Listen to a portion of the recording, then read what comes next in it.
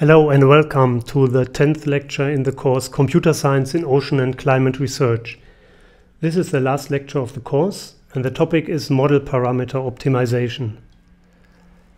I want to describe how parameters in a climate or ocean model can be optimized and what this means. So first of all I will describe the parameter optimization problem then I will talk a little bit about observation operators because the task in parameter optimization is to compare the model output to measurement data to observations. And the next point then is, yeah, how do we measure the model to data misfit that we want to minimize? And since, yeah, parameter optimization is an optimization problem, we need a short overview or introduction how an optimization algorithm that can be applied here works. And one typical ingredient for such kind of optimization algorithm is the derivative or the gradient of the cost function. And so in the last section, I want to speak a little bit about how the derivative of a cost function can be computed or approximated. Yeah, so parameter optimization means that we want to find the model parameters such that the model output matches given observational data. And this is the main method to improve the model quality, of course, because we want to have or we want to make predictions with the climate model in very many cases. So we need a high quality of the model and we want to check uh, how the model can reproduce data that we already have. And yeah, so first of all, we have to define a meaningful cost function. So a function that measures the misfit between the model output and the data that we have. Then we apply a mathematical optimization algorithm and we need in many of these algorithms the derivative of the model output with respect to the parameters. Yeah, and as I said, if we can do this, we can improve the model quality, we can check model quality um, because yeah, what if we can do this? We can improve the model output. First of all, if we find better parameters, we can improve the model quality. We can check the model quality if we can um, get reasonable results at all. If we have optimized parameters and we don't get a reasonable result, then th this is not a good model, obviously. And what also is possible on top of the optimization is or we can also try to determine new measurement locations that further will improve the model quality. Yeah, the parameter optimization problem, um, to describe this, we go directly back to our fully discrete setting of a climate model. So since this is done on the computer, it makes no sense to discuss this here in the in a, a, continuous setting. So we use here the fully discrete form, and I write it like this. Uh, here written with a one-step method. So uh, the time integration, we compute basically uh, a forward integration in time and applying here a time integrator. In this um, application that I study or in this lecture today, it makes no difference if this is a one-step or a multi-step method. So I just used this simplified notation here. Important is that we have here the parameter vector inside. And uh, I'm here always thinking about or thinking of model parameters. It can also uh, make sense to compute uh, optimization with respect to numerical parameters. But we will concentrate here or I will mainly think of model parameters. And we have the initial values. And yeah, so here I omitted in this function the dependency on the step size and on um, former time steps or values of the unknown function, for example, in the multi-step method, uh, because this is not important now. Important is that the solution, the discrete solution that we have, depends on the model parameters. What we want to have is that the model shall reproduce the reality in the best possible way. And reality means uh, we have measurement data. Or we can also consider the case where we have uh, results of a different model and we want to, for example, build a reduced order or simpler model that should um, produce the same results as a more complex model. So then the data zk can also be other model data. But I'm usually thinking of measurement data that are somehow available. So the topic here is not how we get this data, we assume that we have them. And so the aim is to find the model parameters p such that yeah the model output yk comes close or in the ideal case is equal to the data zk. So this is a typical example that might come out. We have a, a model output, which is the solid line, and then we have data, which are the, the small uh, dots or balls. And you can see that here, this is a time evaluation. This is just one uh, variable that we plot um, on in one grid point. This was a spatially 1D model, and we took just one value here of the variable n of nitrogen and we compared here the, the model output to the data. And this is a typical picture. You can see there is a the fit is you can say okay but it could be improved. And or we might have the the aim to improve it. It's not clear if we really can do this but we can try. Um, we had a simple example the energy balance model in zero dimensions where we just had one variable. And there it, this task is not that difficult. In, in fact, it was already done. So if we look at, the, at this model here, here is the ODE version and with several parameters uh, which are given. And if we now want to find the correct, correct value, for example, of the emissivity epsilon, such that the steady state matches the current real value of the temperature, so y was here the temperature, so we want to get this value, then we can, in this simple model, which is just one equation, we can compute the steady state. We can compute it directly from the differential equation, setting the derivative equal to zero, or here f equal to zero. And then we can find that y is always has this form here. And we can obviously compute now uh, the epsilon, if we have a given data z, we can directly compute epsilon also from this equation here. Because here it is not a differential equation anymore, it's a just one equation and it's that easy that we can resolve it.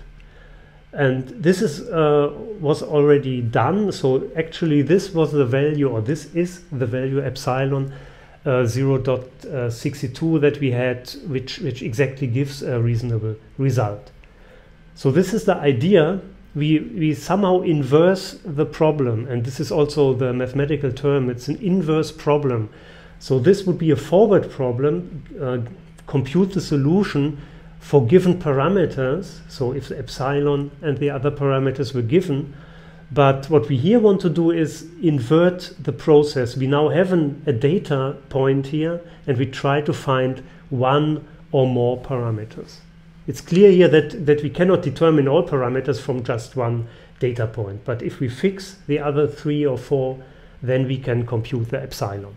So this is the idea, but it's also clear that this is not that easy if we have more complex models and yeah, it's naturally not possible if we have a real operational climate model which is spatially three dimensional and time dependent, and there is no steady state. And this, for example, is an output. Uh, we already saw this picture. This is the 3D model, the model output at the surface, and uh, it's also time evolving. Or even if we get a stationary solution or periodic solution, annually periodic solution, then still we, we don't we cannot resolve it in the easiest way, uh, in the easy way, like like here in the in the zero D example. Okay, so we have measurements and we have um, the model output. So what we need is now some operator to combine this or to to yeah to compare these two things. Um, the general setting that we have and that I will talk about in this lecture is that we have several parameters in the model that we all put in one vector, in an n-dimensional vector of real numbers. The measurement data are usually uh, 3D or 4D fields, so space and time dependent, we put them also in a vector, but because usually we don't have measurement all over in the 3D field or 4D field for every time instant and for every location. Usually we have measurements at some spatial points for some time instance. The model output is also 3D or 4D and it consists moreover of several variables.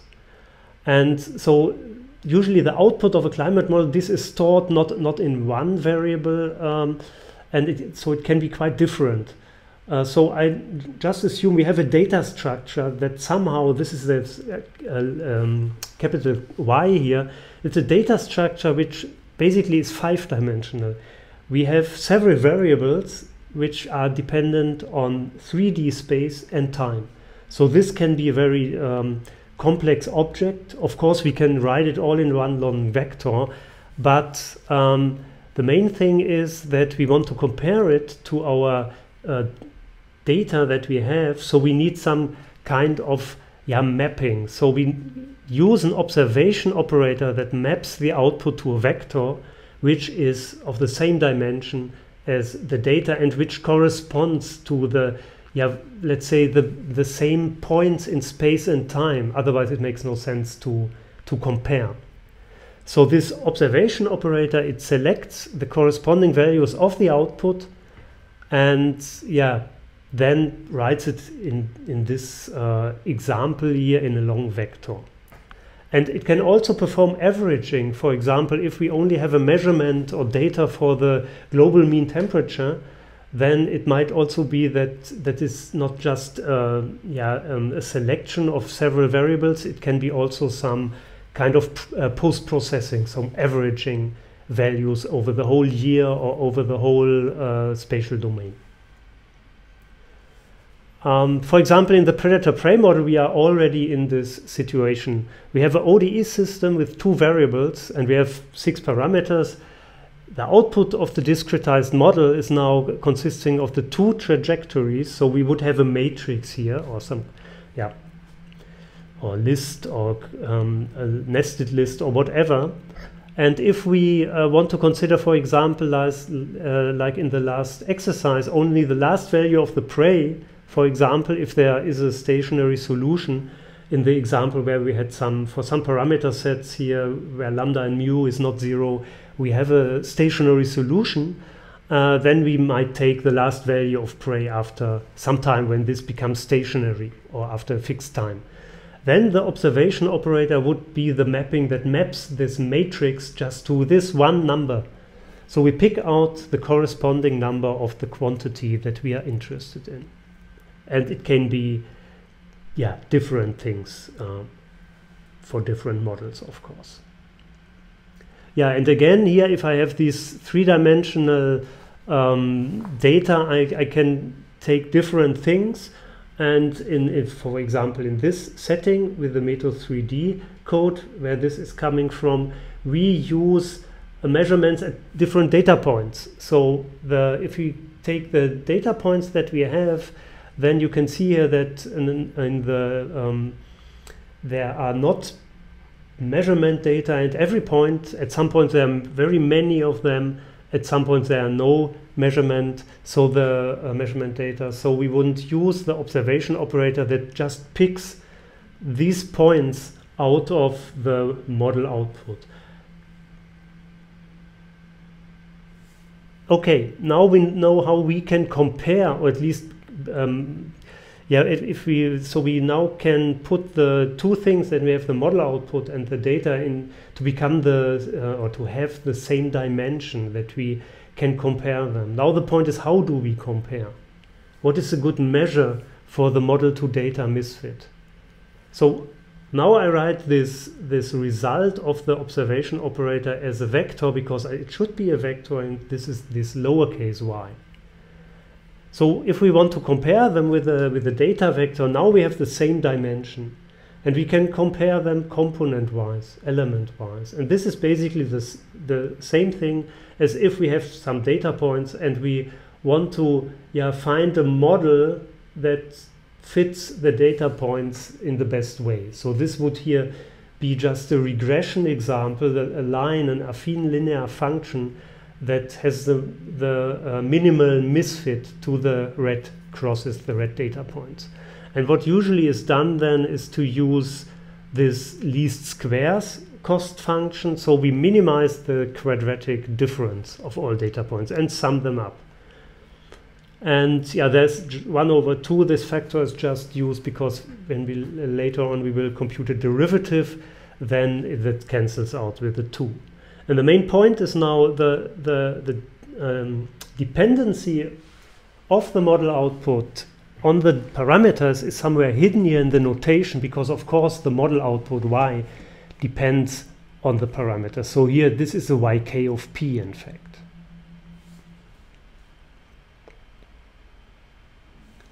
So what we had was what is also called the standard least squares cost function. So it's just the sum of squares and it can be written at the Euclidean norm squared between these two vectors. It can be also written at the Euclidean norm squared can always be written like uh, as a scalar product with itself of these vectors. It makes sense sometimes that we want to weight the different data points differently. So here in this cost function, every data point has the same influence on the value of the cost function. But it might be that some measurements, for example, are very uncertain or have a high error included. So we might want to weight them uh, with a little uh, or with less weight in the cost function. And this can be written like this, where we have here a 1 over a parameter. So this is a positive number, which is the weight, but it has an interpretation because this sigma um, k squared is the variance of the measurement zk. So the variance or the spread or the error, if it's very big in the measurement zk, then we have here a small value, a small weight.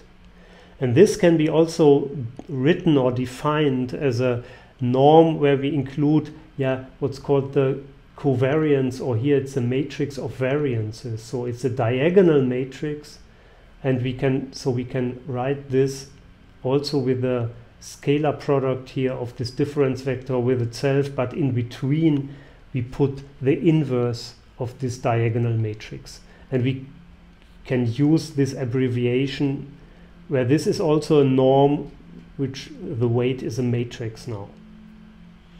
And even more general, we can include the interdependency of different measurements. So if you consider measurements in, um, in the ocean at two, very loca uh, two locations which are very close, then there might be a dependency on these two measurements. They might not be independent of each other. And then this is usually um, included using a covariance matrix. So this is a matrix which has then also elements or entries on the non-diagonals, on the subdiagonals, which um, describe the dependency of two measurement points. Of the measurement point zk and zj, then we will have an entry in the uh, in the matrix in the element with the indices k and j. So these are, this is the simplest one and this is the most general one. There is a stochastic interpretation of this. I already included this variance as a, so I, I, used here for the weight, which is just a positive number, I used here this inverse notation and said this is the variance, so sigma square k is the variance of measurement zk and so this is already coming from the stochastics because the variance is a stochastical quantity which is well defined. So if we consider, the idea is to consider our data as, as random values. So uh, which makes sense because a measurement uh, instrument usually has some errors which are assumed to be random. So in the in the average or in the mean, the uh, we expect the measurement device to give the correct value, but there is a deviation from this. And usually this deviation is regarded as a yeah as being probable, so have a, a given probability. And so and the interpretation is just a simple reformulation of this minimization problem because if we minimize this and we're just looking for the p. We are not interested in this misfit value here. We are interested in the p, in the optimal parameters. This is our aim. Then this problem is equivalent to maximizing the negative. This is very simple. But then we can also go to the exponential of this term because the exponential function is monotonically increasing. If we find the optimal parameter that maximizes this, it's the same as if we find the optimal p that maximizes the exponential of this term. And with the, by a rule for the exponential function, we can take the sum here and put it outside the exponential and get a product then of this negative exponential. So this is the just one term of the sum here, and then we have a product. So going to the exponential, we get here the product, and we can also include here an additional factor, which is depend for every term in the product, uh, there is a sigma k that we can put here inside and the constant. And then if we see this here, we have the probability density function of the normal distribution with this variance. So this is the interpretation. Here you need a little bit background about probability. I don't want to discuss this in detail. So if you are not familiar with this, you might here ignore this uh, or, or you might look it up somewhere. So the interpretation is that P maximizes the probability yeah, for being y being equal to z in the mean or in the expectation. And so this is also called the maximum likelihood estimate. And this we, you will find uh, very often in the literature. But basically what we do is we minimize this here because then we maximize this. This is the aim of this slide. Yeah, this is the example or the density function, the probability, probability density function of the normal distribution with different variances. So uh, the variance describes yeah how broad this this curve here is. So the the highest probability is uh, if we use if the highest probability is then that yk equals zk, and there is a small probability that this is not the case. And this refers now this spread now here the the uh, how wide this curve is or how broad it is uh, refers to the uncertainty in the corresponding data point zk.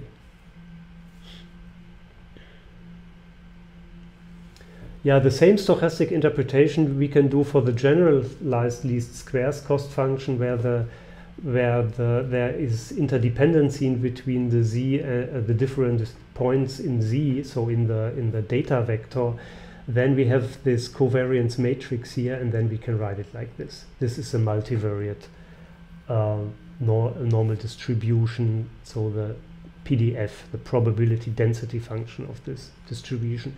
And then the picture would look like this. So then it's not symmetric. Uh, if there's a covariance matrix, um, then and the data point is not zero, then we have a, a shift and also some kind of uh, yeah, different shape here, which is not symmetric with respect to the two axes. An additional thing which is usually done in uh, when using climate models or when optimizing parameters in climate model is that we do not look for any parameter or for which is completely uh, arbitrary in Rn. So in many cases we have a certain value which is known or which is a default value or given or standard value.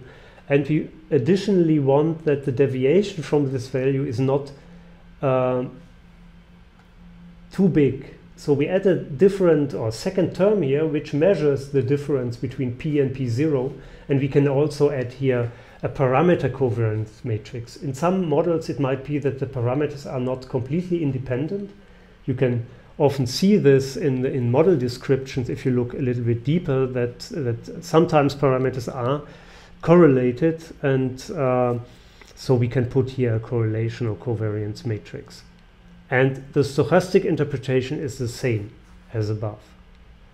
So um, we take now into account the given spread of variance of both the data and the parameters and also the interdependency of different measurements and optionally of the different parameters.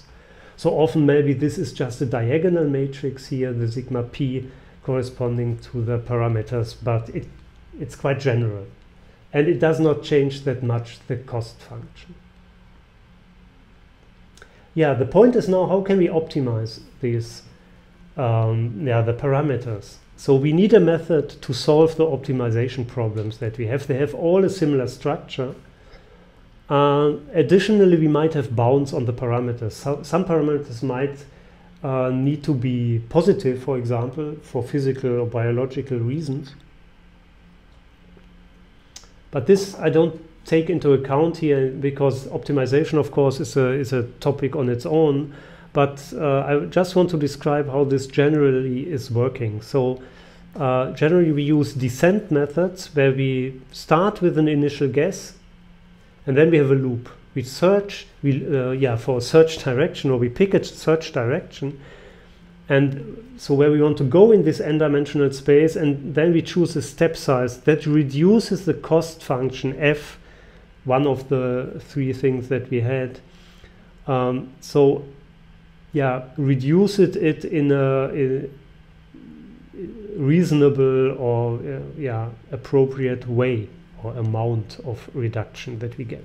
And then we just uh, proceed one step in the search direction with the chosen step size until some stopping criterion is satisfied, usually until um, nothing is happening. So the steps getting smaller or the gradient of the cost function is getting small, the derivative of the cost function. Because we here these algorithms are based on derivative information or gradient information. The cost function is a scalar function, it's just one number that we compute. Um, we have several parameters, so the derivative is, is the gradient. We will come to this in a second. So one um, option for the search direction is go into the direction of the negative gradient. Another one is using the Newton method where the second derivative, which is the Hessian matrix, is used. But this is very expensive because to compute the second derivatives is very expensive. And usually people use what's called quasi-Newton method where there is uh, the Newton direction is approximated in a more efficient way. And then these methods only need the derivative. But this means we need some way to compute the derivative. Yeah, so we have seen that we need to compute the derivative of the cost function with respect to the parameters. And I just use here the simplest uh, example for the cost function to explain what is happening. Uh, the main point is we have a scalar function, so uh, but we have n parameters, so we have to compute the partial derivatives and combine them here in this vector in the gradient uh, denoted by this nabla symbol here. So the these are the partial derivatives and they are defined in the same way as the normal derivative. So it's just in every component we have the derivative with respect to one parameter. And the main point is that our model output here um, depends on the parameters. So basically we have here um, concatenation of two functions. The outer function is the norm squared, and the inner function is yeah the model, uh, the model output or the model function that produces the yk uh, and depends on the parameters. So the derivative or the gradient of the cost function has to be computed by the chain rule we have to compute here the derivative and first of this quadratic term and then there comes a 2 out of it and this is the reason why we put the 1 over 2 there so we don't have this factor here this factor 2 and then we have the outer derivative is just yeah the difference here without the square and then we have to multiply each term by the yeah the derivative uh, by the inner derivative which is the derivative of the yk the model output yk with respect to the parameter pi. So this is the result and this can be interpreted as a matrix vector product. Here we have a vector this difference vector and if we look here at this thing which is we can interpret as the element chi a ki of a matrix, which would be the Jacobian or functional matrix of the yeah the model output considered as a function depending on the uh, the parameters.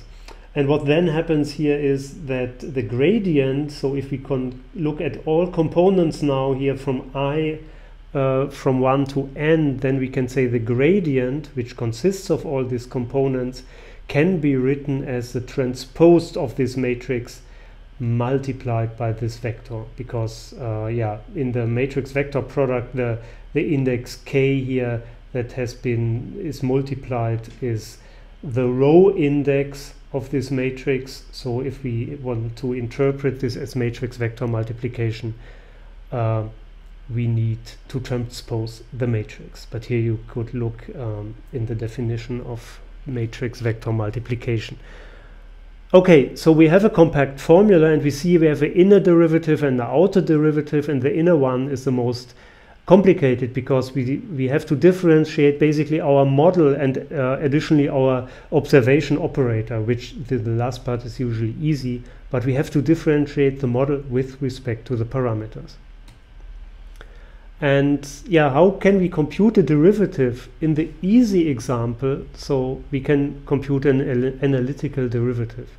In our energy balance model, we had a simple formula for the solution, for the steady state solution, uh, which is here the, the root, and then we can easily, we only have one parameter, so the derivative is just one value um, y um, differentiated with respect to the epsilon, and we can compute this. But as I said, uh, this is not that easy in general, uh, in the general realistic case. So we, there might be parts of the model that we can differentiate by hand, but usually not the whole model, not a spatially and time dependent model. Uh, symbolical computation using some online tools is also possible, but it also only works for simple functions. So these are not options for realistic climate models what usually is done, compute a finite difference uh, approximation of the gradient. So here we have the partial derivative, and this is, yeah, would be the definition if you put here the limit uh, h to zero, this would be the exact definition of the partial derivative. So to vary the parameter vector in one coordinate direction, in the ith coordinate direction by some h and letting go this h to zero. And if we keep the h fixed, we get an approximation. So this means we take, uh, yeah, if we have two coordinates, we take, we have to compute two additional function evaluations. Here I just plotted this for for uh, for point x. In our case, it would be the p. So this is uh, the general formula for the uh, forward, which is also called the forward difference approximation in two parameter um, directions, then we would have two additional function evaluations. In general, if we have n parameters, we have n additional evaluations of the cost. Better accuracy has uh, the central approximation where we take one step in the forward direction, one in the backward direction, which is a symmetric approximation. So it has no, uh, here is the orientation always in one direction of the parameters and here we don't have this. We have a higher accuracy, but we need uh, double time for this. So we need two n additional evaluations of f. So uh, there are some algorithms, optimization algorithms, who have built this in, usually an optimization algorithm in a library function, like for example in Python or MATLAB or Octave, will have this implemented. So if you just provide the cost function and then automatically the gradient is computed, the main point is, is the step size here, the h, is this a good choice? And in Python, uh, there is also an optimization method where uh, they use, or in some optimization method, they use uh, central approximations, and this is more expensive, but more accurate. So it's hard to say if it's really worth doing it. There's another way which is also often used uh, and this is called algorithmic or automatic differentiation, AD. In the realistic case, um, the cost function is only given as a computer program. So it's a kind of not black box maybe because we have the might have the source code, so it's kind of gray box. Uh, the finite difference approximation, you you just need a black box. You can, if you have a function evaluation, you can you can apply it. This is an advantage. Here you need at least the source code, because in the computer program, in a in a programming language, every function that is implemented is a concatenation of elementary functions of the language. So we can write it like this we can write our cost function as a long, very long concatenation of elementary function, this uppercase fk or fi here. And basically what we can, we can uh, see or regard a computer program as a, yeah, really, we, we put in the parameters p in, at the beginning as x0, and then we compute always xi as a function of xi minus 1 and proceed. So this is also called the computational graph of the program. We start somewhere and then we proceed through the code and at the end within the xk after k of this elementary function we come to our result, the cost function. But if we use this notation which somehow corresponds to the computer program then we can also write down the derivative of f because this is also done by the chain rule. We start by setting the, the initial derivative as the identity. So if we would have just one parameter, this would be just 1. But usually have more than one parameter, so this is an identity matrix. And then we can consider here this elementary function, they're just mapping the input to the output, and the input also depends, so the input also carries sensitivity with respect to our parameters. So the chain rule just says this multiply the derivative of the actual or the current function fi here multiplied by the accumulated derivatives of the uh, steps that were done before. So this is a chain rule applied to this line here and this is very easy. At the end we would get our f prime which is in our case is a gradient as the last output of this iteration. So, and the, since the fi are elementary functions, the, their derivatives can be computed exactly, and also this is just a, um, yeah, an amount of functions that has to be dif differentiated. So the elementary operations like plus minus multiplication, and maybe some mathematical functions which are in the language, which are implemented in the language. Of course, this is more complicated if we have a language like MATLAB or Python where we have lots of built-in functions. But if you consider a very uh, a higher programming language uh, on the level of C or Fortran or Java, then you have a quite restricted class of functions and elementary operations that have to be differentiated. And this can be done exactly. And the whole thing can be done algorithmically because basically only this loop has to be implemented. So the source code has to be written, the source code, which is basically this line here. And uh, then there is, yeah, additional or uh, new code has to be written or this has to be realized in an appropriate way. And yeah, one way is, as I said, uh, which is called source transformation. There's really new source code generated. And this is a very, of course, very simple example just to show. So I have here a function in Fortran which implements the square root and just uses the built-in square root function. And we know that the derivative of the uh, square root here is just this term here. So this is x to the power of 1 half. So we get this as derivative. And so we can use the square root uh, again to write down the derivative. And this is what, what an AD tool um, produces. So it uses some variables for intermediate values. So this is basically the output, which you can see here at the end.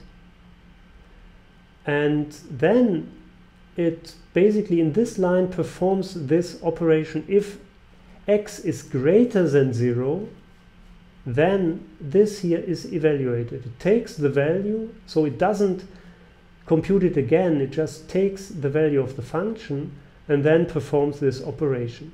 And this line is generated by yeah algorithmically applying rules for the derivatives to this original line of code here. And in this code, you can also see that because the, the square root is not differentiable at x equals 0, there is a special uh, function called which gives an exception, basically. So this can also be built in in these kind of tools that uh, the, the function itself is not a problem, but uh, differentiating it at the point zero is a problem because then we would get infinity. And so this is avoided here.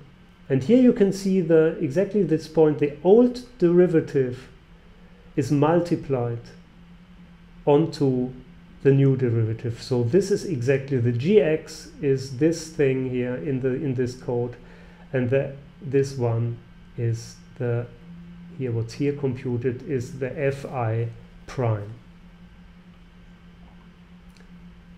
Okay, so this can be done, and since the elementary functions are very easy and the derivatives are available, this can be done, and there is no error here. Um, so it works also for long and really operational climate and weather forecast models, and it's used there.